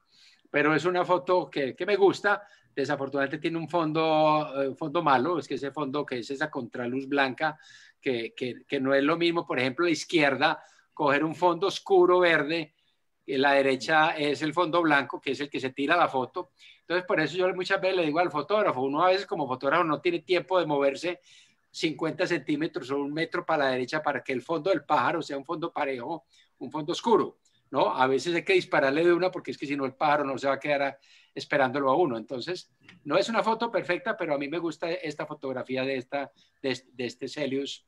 Recuerde Chelius, Chelius. Ah, Chelius. No nos regaña, nos regaña ahí, ahí, lo tengo, ahí lo tiene Alejo al lado. Ay, no, me ha regañado, no me ha regañado todavía. No, no, no, yo no regaño, yo enseño algunas cositas que yo No, no, yo sé. Eso, eso, eso, Alejo. Así es, así es. Bueno, y vamos a pasar a, la, a, la, a la, cereza del pastel para que luego ya demos paso a preguntas. Sí. Esta es la cereza del pastel porque este, este, esta ave fue descubierta hace pocos años en Colombia. Se sabía que estaba en el Ecuador y nunca, nunca... Eh, eh, la habían visto. Y eh, un amigo de, eh, que es de Piedemonte, Cauca, la descubrió. Él estaba ahí en, en, una zona de Guaduales cuando, cuando hizo una foto y la montó en las redes cuando, uy, la gente que sabe de eso, pues digo Calderón Andrés Cuervo, toda esta gente que son unos expertos, digo, pues ¿cómo así que encontró esa ave ahí? Y resulta que es una ave nueva para Colombia que fue, o fue descubierta allá cerca de Mocoa, en pie, Piedemonte, Cauca. Este es el macho y la hembra, fíjese lo que les decía, muchos de los machos tienen esa bigotera roja, la hembra no la tiene, pero ustedes lo ven y, también dice, este es, que este es Celios spectabilis. Fíjense ese nombre tan lindo, me gusta spectabilis, porque muchas veces el nombre científico no tiene nada que ver con el, con el pájaro, pero este sí, es un Chelius. Spectabilis del latín, spectabilis obviamente visible, brillante o notable. Notable, realmente es notable la belleza de este Es una belleza, pues que mire ese patrón del manto, mire ese patrón tan hermoso, pues que parece, parece dibujado. Es una belleza de animal. Entonces, eso lo encontramos ahí. Y después, yo, yo la fotografía esa a la derecha le hice en Piedemonte Cauca. En ese momento no vimos la hembra. Pero después volví allá donde don Hernando, en, en la finca El Escondite, y nos habían dicho que hacía poquito habían visto este, este individuo ahí cerca de la casa.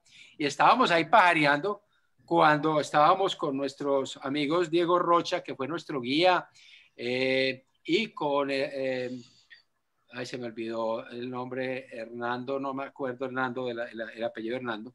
estábamos con ellos cuando empezaron a gritarme, el carpintero está cantando por aquí, salimos corriendo y, oímos el canto, claro, le pusimos un momentico playback con un poquito de, de cautela.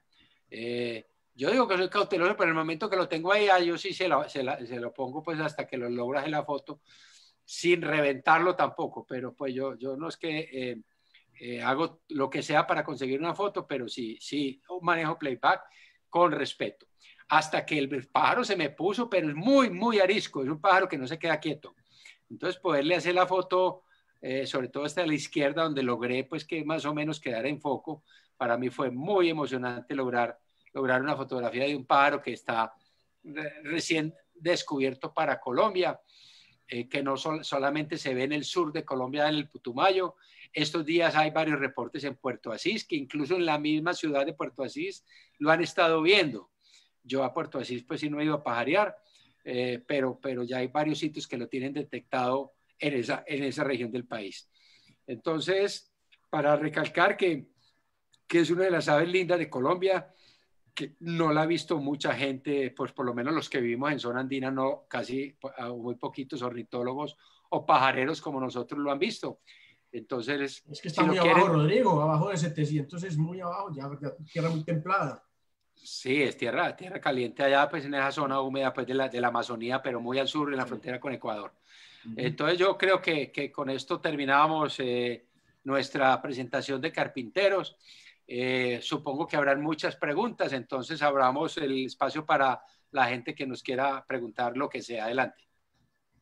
Una cosita, yo les cuento, estuve aquí revisando de los picoides, antes eran beniliornis, ahora pasaron a picoides, luego pasaron a driobates y algunos están ya en una que se llama, no, no lo pude retener, colonotopectus o algo así, ahora, te, ahora les cuento, pero driobates es la mayoría de ellos en este momento.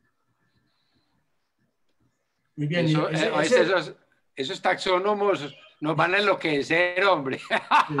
Pero bueno, dejémoslos que gocen y, nosotros ahí, ahí, ahí hacemos lo que podemos. Adelante. Oye, eso que estos están con la última guía pues que hay disponible de ayer, pero, pero sí, todo eso sigue cambiando y seguirá cambiando porque la ciencia va avanzando muy rápido en eso. Así es. Bueno, bueno, ¿qué preguntas tenemos? Listo, bueno, las preguntas. Eh, si los carpinteros anidan en todos los árboles o tienen algún tipo de preferencia. Ese es un punto interesante, Vero, y es que eh, fue una de las discusiones que, que planteamos eh, eh, en una de las presentaciones que hemos hecho anteriormente, especialmente la de atraer aves, y es que la gente ve un árbol relativamente seco, mm, con un tronco podrido o algo así, y lo ve muy feo y lo tumban.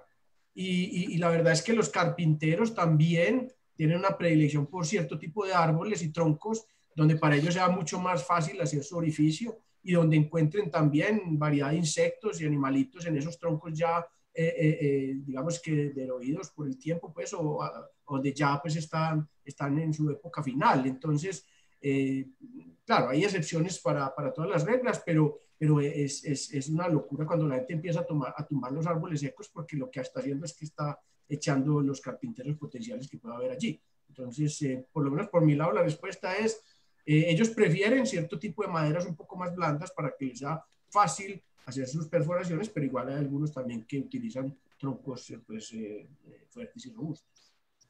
Y hay, hay, otra cosa que también hay que considerar, y es que hay árboles que son tan duros que es que ni la motosierra les entra.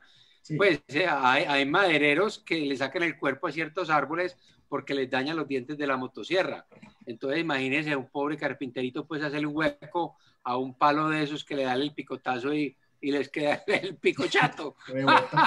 entonces, entonces, hombre, sí, eh, como dice Carlos, ellos tienen sus ah, eh, árboles preferidos que pueden taladrar y sobre todo cuando son árboles secos que ya se han debilitado un poco y que pueden hacer el nido con mayor facilidad.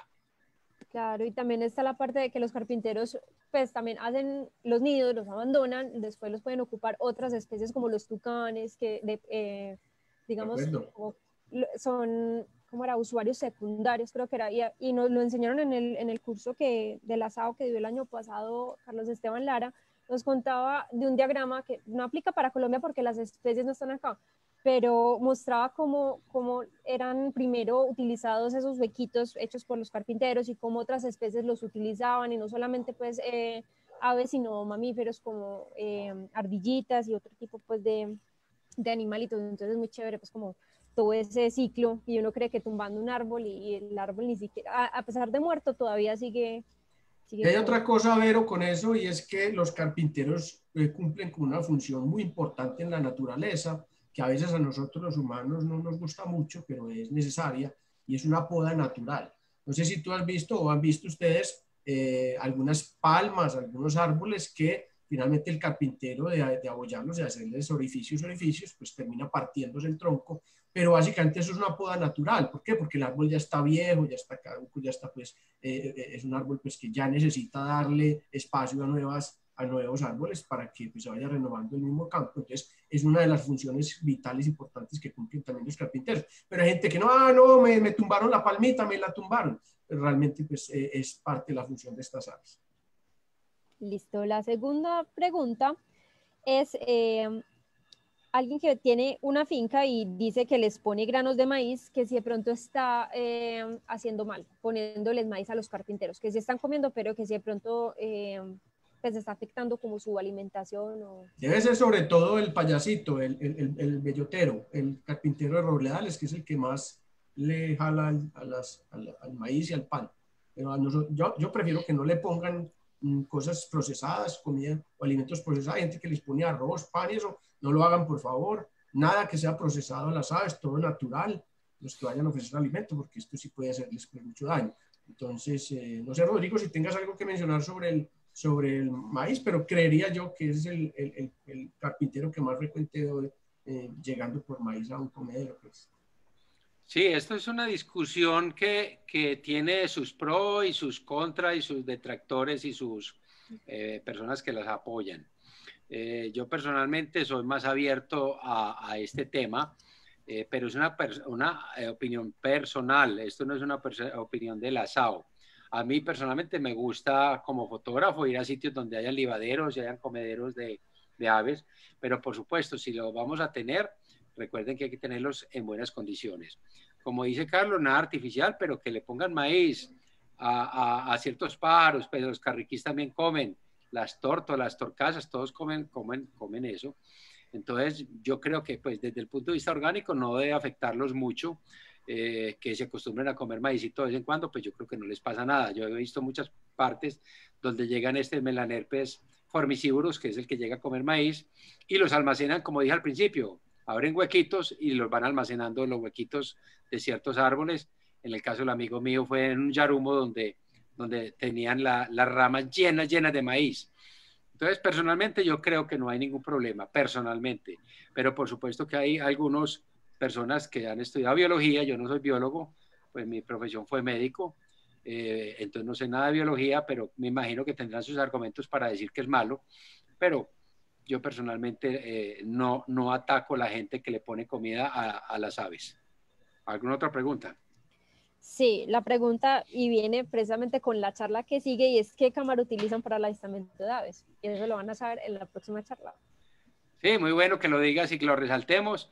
Eh, vamos a, dar una charla con Memo Gómez, que es, una pregunta que nos ha hecho mucha gente sobre cámaras fotográficas. Entonces, más bien dejemos eso, los invitamos el último jueves del mes, porque Memo nos va a ilustrar eh, las diferentes tipos de cámaras, las que son eh, cámaras reflex o cámaras que tienen todo integrado, las que llaman bridge, que, que, mucha gente las está utilizando. Entonces nos va a explicar por qué una es mejor que otra o qué ventajas tiene una sobre la otra.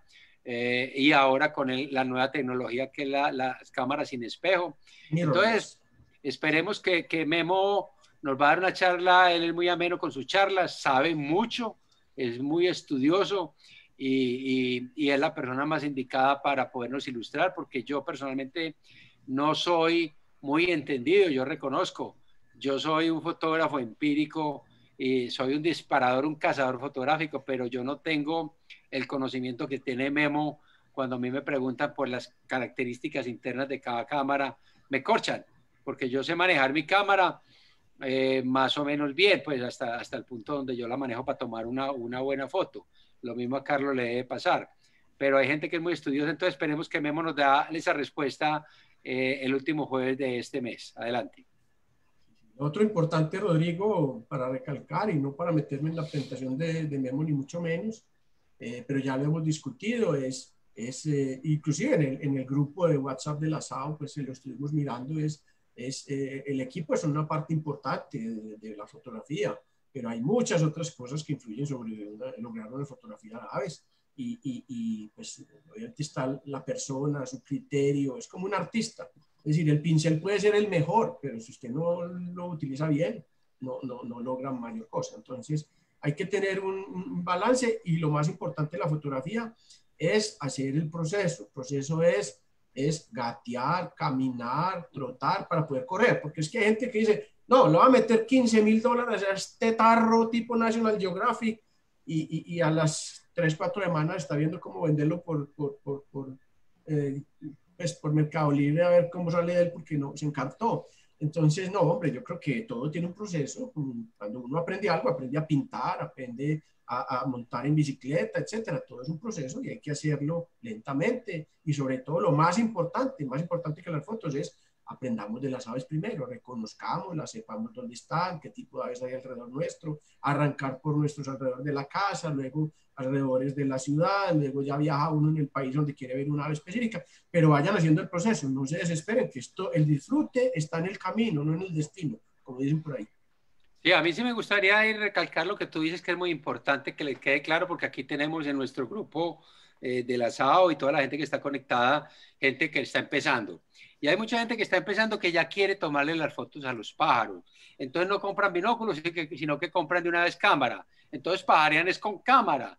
Hombre, eso, eso yo creo que es un error. Como decía Carlos, uno tiene que empezar a conocer un poquitico las aves. ¿Y cómo las conoce? Es cómprese unos binóculos y una guía. Las guías hay muchas. Yo tengo aquí en este momento pues la, la avifauna colombiana de Fernando, eh, pero también tengo la de Milesman McMullan, que también es buena. Ahora está anunciada que va a salir a una guía de Hilti, eh, que pues, me imagino que será fenomenal. Y, bueno, eh, aprendan de las aves, aprendan un poquitico lo que es el comportamiento de las aves. Porque hay una cosa, es que cada ave tiene lo que se llama su zona de seguridad, que es hasta dónde me le puedo acercar yo para que ella no se huele. Hay aves que tienen la zona de seguridad muy estrecha, que eso uno se puede acercar mucho, como son los momotos, pues, los barranqueros. Uno se puede arrimar a un barranquero a dos, tres metros y no se vuela. Y así a ciertos colibríes, pero hay otras aves que usted se le mete a 20 metros a su zona de seguridad y sale disparada. Entonces hay que aprender, para uno hacer una buena fotografía, tiene que aprender el comportamiento de las aves para saber hasta dónde se le acerca. Entonces, la invitación que nosotros hacemos a las aves es que aprendan primero de aves, cómprense unos binóculos. Recuerden que la gente del asado tiene unos descuentos en, unos binóculos de marca Vortex que, son muy buenos. Pues, Eh, y ahora hay otra persona que está empezando a, a, ofrecer otros binóculos y vamos a ver si podemos entablar relación con él para que a los socios del asado les haga un descuento. Recuerde, usted quiere ser socio del asado, es muy fácil hacerlo. Eh, a través de la página del, del asado van a poder saber cómo se hace, es muy barato y van a tener descuentos, no solo en binoculares, sino en, en sitios de pajareo, en restaurantes, en parques. Estamos en esa, en esa labor. Entonces, empecemos a pajarear con binóculos y con guía. Aprendan de pájaros y después vamos a pasar al segundo paso, que es la fotografía de aves. Igual, Rodrigo, para reforzar, hemos venido haciendo este tipo de programas para los que pues es apenas que se junten con nosotros, hay otros que sí nos vienen siguiendo ya hace rato y gracias pues a todos igualmente por hacerlo, pero entren al, al, al Facebook de las aves, ahí están todos los videos, hicimos cinco programas de las aves urbanas, las más comunes, hicimos programa de colibríes de Colombia, siete programas, una maravilla, eh, como ven ahí en la pantalla, eh, hicimos migratorias. las migratorias, ahora carpinteros y así sucesivamente. Es decir, mm, si de pronto no pueden salir a campo, muy lejos de sus casas y demás, por lo menos pueden entrar allí y ver estos programas, ver las fotografías que estamos publicando. Lo mismo, como vemos ahí a la, a la derecha de la pantalla, eh, el Instagram, ni Rodrigo ni yo somos ni youtubers, ni instagramers, ni nada de eso. Tenemos nuestra página para publicar las fotos que vamos tomando, presente para el servicio de la comunidad, de manera que entren, mírenlo, no tienen que seguirnos, los que quieran seguirlos, y no, no, simplemente entran y miran una ave parecida al que tienen, miren, ahí está toda la información, cómo se llama, nombre científico, qué hace, etcétera. Mírenlo ahí, solo para que se vayan enterando y vayan entendiendo qué tipo de ave es y para que vayan eligiendo cuáles son las de su preelección y las que realmente van a querer fotografiar y dónde están, dónde se ubican, dónde se pueden observar y demás. Listo, entonces ahí está pues el, el Instagram de Rodrigo y el mío y esto pues que es la dirección de eh, Facebook, que es www.facebook.com, Sao slash videos, ahí van a poder ver todos estos videos que hemos estado haciendo sobre el mundo de las aves. Por eso se llama Introducción al mundo de las aves, como una campaña especial, un programa especial que, que está liderando el ASAO y pues obviamente en día Rodrigo, que también nos ha dado pues la confianza de acompañarlo y poder estar haciendo estos programas cada, cada eh, pues, paulatinamente, periódicamente. ¿Alguna otra pregunta, Vero? No, ya solo sería contarles que sacamos el cucarachero hace poquito, el cucarachero de octubre, quedó hermosísimo, cuenta, de hecho, con las portadas son fotografías de Memo Gómez, de la eh, Gralaria alvarezi, que es del Tororo chamí, que es una especie nueva para la ciencia, y Memo logró coger no solo los adultos, sino el pichón, y es hermosísimo, es una portada, o sea, lo que se dice de revista, entonces pueden eh, buscarlo en la página web de la SAO, está montado, y está también en el Facebook y en el Instagram me encuentran el link para que se descarguen, es totalmente gratis y tiene muchos artículos muy interesantes que también, por ejemplo, los artículos de Carlos hablan de, de la parte mm, de la especificidad del de, pico de las aves, de las alas, hay artículos de cómo pajarear, eh, qué binóculos escoger, hay mucho contenido, entonces para que lo disfruten mucho porque lo hacemos con mucho, mucho cariño y mucho empeño el equipo, todo el equipo de, la, de aves.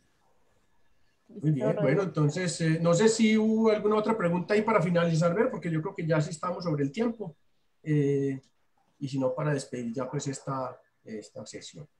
No, ya todo el mundo se, se, está despidiendo. De hecho, por ahí también está Memo Gómez diciendo que muchas gracias. Y, y, todo el mundo está muy contento con la charla. Muchas, muchas personas, más de 100 personas están conectadas en este momento. Muy bien, muchas bueno, gracias entonces a todos. Dale, Rodrigo, de pena. No, muchas gracias eh, por habernos acompañado durante este espacio. Recuerden que esta es la última charla de este año de Coquitos, porque ya se nos coge diciembre y, y vamos a darnos unas pequeñas vacaciones.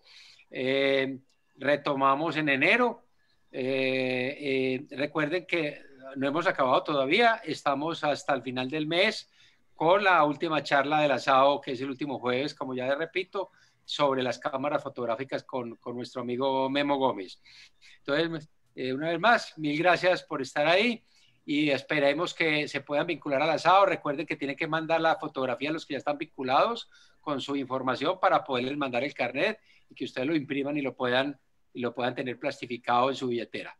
Muchas gracias de nuevo y bueno, seguimos esperando el apoyo de todos. Recuerden, mándenme artículos al asado o a mí directamente sobre y fotos sobre, bueno, fotos se los pueden mandar al asado para nosotros hacer un archivo para poder que Vero tenga una, una base de datos para poder, para poder eh, utilizar esas fotos en nuestros próximos cucaracheros. Pero si artículos, por ejemplo, mi ave favorita, eh, ustedes todos tienen una ave favorita, cuéntenme cómo fue que la vio, dónde la vio, todo, todo lo que tenga que ver con mi ave favorita. Fíjense en, lo que nos escribió Daniel Piedraíta ahora hace poquito sobre el cefalópteros, que es el paragüero, que más o menos para que tengan una base, que, porque es que la idea es educar, que, que no solamente nos enseñen del ave, sino quiénes son los guías, cómo se llega, dónde se puede llegar a dormir, cuánto cuesta, lo que sea. Eh, o también nos, hay una, eh, estos días proponían, hombre, ¿por qué no nos cuenta cómo fue que empezó a pajarear? ¿Por qué se vinculó usted a este mundo de los pájaros? Entonces también hay historias fascinantes sobre eso. Por ahí nos escriben en los chats cosas muy bonitas, pero ojalá nos puedan alargar eso con más detalles de, por qué se vincularon en este mundo de los pájaros. Entonces también serían artículos que pueden ser muy interesantes, muy, eh, con muchas anécdotas, con, historias graciosas, el por qué llegamos al mundo de los pájaros. Entonces también sería una columna que podemos abrir en el cucarachero. Entonces yo espero que ustedes se animen y me, y me manden los artículos. Muchas gracias y los espero al final del mes, el, último jueves. Hasta ahí, eh, ahí los dejo con Carlos y Vero para que se despidan. No, de mi parte un abrazo para todos y gracias por seguirnos y que ojalá sigamos pues en contacto porque vienen muchos, muchos más temas ya con Rodrigo tenemos el próximo año todo copado, ya las listas de temas para exponerles está completa, definida, de manera que vienen muchas, muchas sorpresas de cosas muy chéveres, de manera que bienvenidos y bueno, muchas gracias a todos. Listo, bueno, nos despedimos chao, chao. Hasta luego.